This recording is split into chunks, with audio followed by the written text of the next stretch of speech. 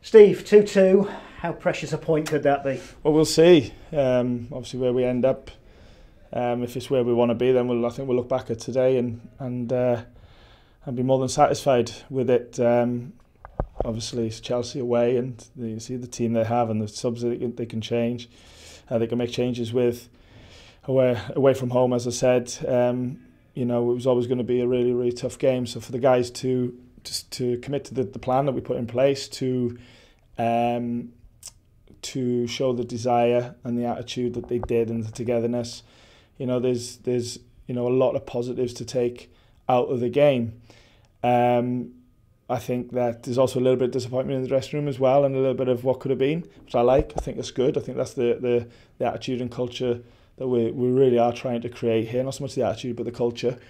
And um, and yeah, sort of mixed feelings really of of working really hard to get something out of the game and being satisfied with that.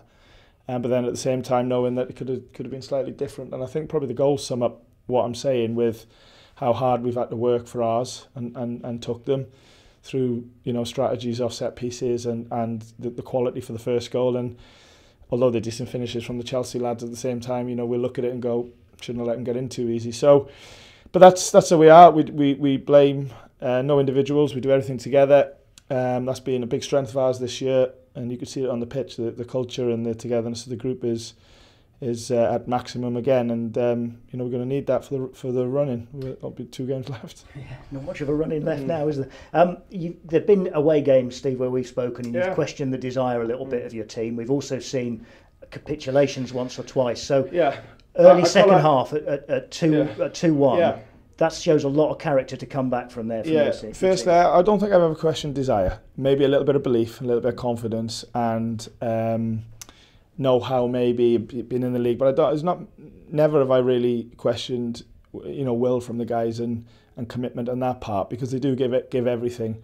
Um, but obviously, it's not always been perfect, of course, away from home because of what you just said about some of the, the really poor results and at times parts of the performances that, that we that we've had. So. Um, So yeah, it was it was good to see um, not what you just mentioned today, particularly as you said, going 2-1 down when really we're all sitting there or standing there, especially the supporters thinking, oh, how's that happened? Um, so to show the, the, the attitude and the resilience to get back into the game and then get something out of it, um, like I said, you know, nobody's, last thing we're doing is, is um, getting too overboard with um, with getting something away at Chelsea, but which at the same time I think we should be satisfied. Tyrell he's got four goals in a week now. Yeah. Um, he really seems to be coming into his own in this Premier League. Now. Yeah, I think that um, he deserves the goals, and obviously number nine on your back, that's what you want to do. Um, I think T, since he's come, he's had a, a great, you know, um, commitment and attitude to, to get back to being available. Um, And I think that I think he's played really well since he's come back. And obviously, the, what what had been missing up until the other night was was the goals. He was a little bit disappointed he didn't score the header against Brentford. Um, so the fact now he's got a few goals in two games is is great for everybody, you know, especially him because I think since he's come back, and let's let's remember he's, he's missed a large part of the second half of the season, so to come back and having the impact that he's had, even in the games where he's not scored, credit to him, credit to the, the medical team in, in getting him in the place that he's in. Um, and um, let's let's hope that he can continue, you know, um, in preparation for, for next Saturday. Uh, you clearly worked, but you made that change today to bring in the third defender, if you like, at the mm. back uh, in place of, of Brennan Johnson. So Brennan's on the bench. Um, was that just your choice, your tactic, or is, uh, is Ta Brennan yeah, carrying something? Yeah, tactical. I think uh, not just I think the the third centre back, but also the fourth midfield player.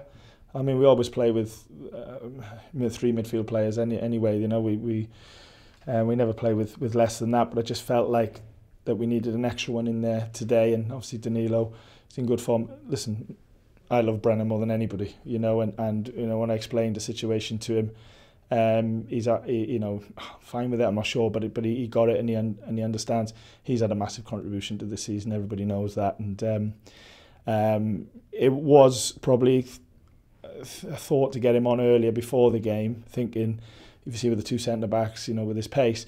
But we just felt like T might get another chance because of because of having the two, and sometimes that's how you turn them into into three. But um, but we got him at the same time, and yeah, like like Brennan is, you know, brilliant attitude, brilliant commitment. Only wants wants right, only wants what's right for for the football club.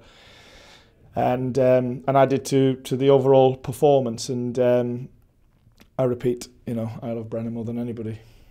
95th minute, did you think he was going to be, get played in?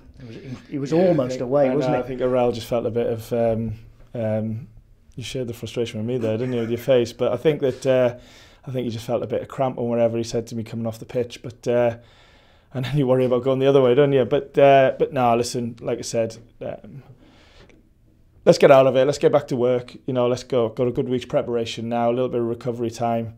in amongst all the week and um, big focus now on getting back to the City ground.